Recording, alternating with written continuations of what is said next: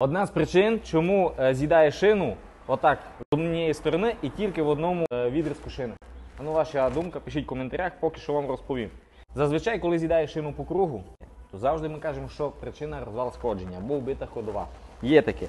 Але в даному випадку це інший случай. Коли е, вам нагадується, що треба диск рихтувати для того, щоб не лише не було вібрацій на швидкості, а для того, щоб шина ваша мала ізнос протектора рівномірно, тому обов'язково звертайте на це увагу. Бо часто люди відмовляються рихтувати диски через те, що кажуть, ми їхали, нам все нормально, немає вібрацій. Ну от дивіться, до чого призводить, коли е, диск ваш пошкоджений.